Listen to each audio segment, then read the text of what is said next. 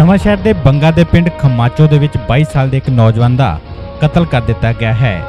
Salon ਮਾਲਿਕ ਦਾ ਬੇਰਹਿਮੀ ਨਾਲ ਕਤਲ ਦਾ ਮਾਮਲਾ ਸਾਹਮਣੇ ਆਇਆ ਹੈ। ਘਟਨਾ ਬੀਤੇ ਦਿਨ ਦੀ ਹੈ। ਮ੍ਰਿਤਕ ਦੀ ਲਾਸ਼ ਅੱਜ ਮਿਲਣ ਤੋਂ ਬਾਅਦ ਇਸ ਦਾ ਖੁਲਾਸਾ ਹੋਇਆ ਹੈ।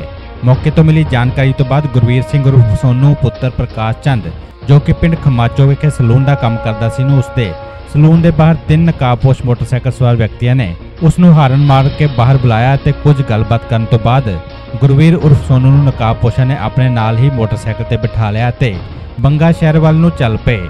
ਇਸ ਦੌਰਾਨ ਜਦ ਦੇਰ ਰਾਤ ਨੂੰ ਗੁਰਵੀਰ ਘਰ ਵਾਪਸ ਨਹੀਂ ਪਰਤਿਆ ਤਾਂ ਉਸਦੇ ਫੋਨ ਤੇ ਵਾਰ-ਵਾਰ ਸੰਪਰਕ ਕੀਤਾ ਗਿਆ। ਪਰ ਅੱਜ ਸਵੇਰੇ ਉਸ ਦੀ ਹੁਣ ਲਾਸ਼ ਮਿਲੀ ਹੈ।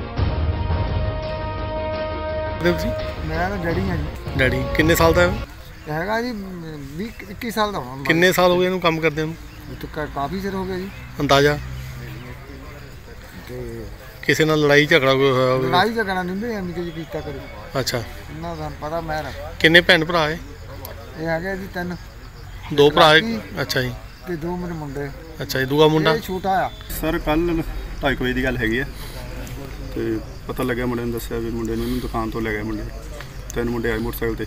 ਉਹ ਪਤਾ ਲੱਗਾ ਕੌਣ ਆ ਮੁੰਡੇ? ਨਹੀਂ ਸਰ। ਅਨਨੋਨ ਫੌਰਨ ਮਾਰਿਆ। ਦੁਕਾਨ ਤੋਂ ਤਿੰਨਾਂ ਨੂੰ ਬੁਲਾ ਕੇ ਲੈ ਗਏ ਤੇ ਇਹਨੂੰ ਬਿਠਾ ਕੇ ਕੱਲ ਦੀ ਭਾਲ ਹੋਈ ਹੈ ਜੀ। ਸ਼ਾਮ ਨੂੰ 8:30 ਵਜੇ ਫੋਨ ਆਇਆ ਮੁੰਡੇ ਦਾ। ਤੇ ਕਹਿੰਦਾ ਜੀ ਮੁੰਡਾ ਲੱਗਦਾ ਨਹੀਂ ਉਸ ਤੋਂ ਬਾਅਦ ਫਿਰ S S Chuthana sir Banga phone ਕੀਤਾ।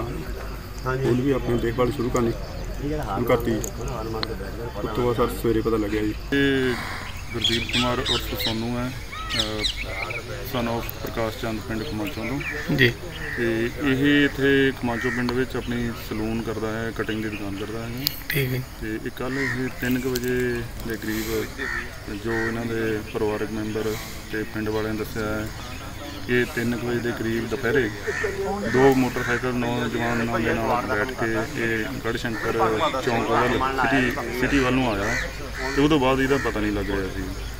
ਤੇ ਅੱਜ ਸਵੇਰੇ ਇਹਨਾਂ ਦੇ ਘਰਦਿਆਂ ਨੇ ਅਹ, ਸਰਚ ਕਰ ਰਹੇ ਸੀ ਤਾਂ ਜਿਹੜਾ ਪਤਾ ਲੱਗਿਆ ਕਿ ਗ੍ਰੀਨ ਸਿਟੀ ਹੈ ਗੜ੍ਹ ਗੜਸ਼ੰਕਰ ਰੋਡ ਦੇ ਉਹਦੇ ਆਪੋਜ਼ਿਟ ਜੀਐਨਐਲ ਦਾ ਇੱਕ ਸਟੋਰ ਹੈਗਾ ਪੁਰਾਣਾ।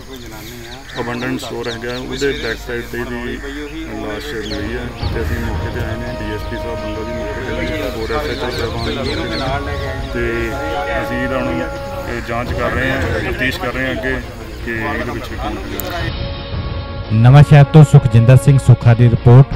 Punjab Today.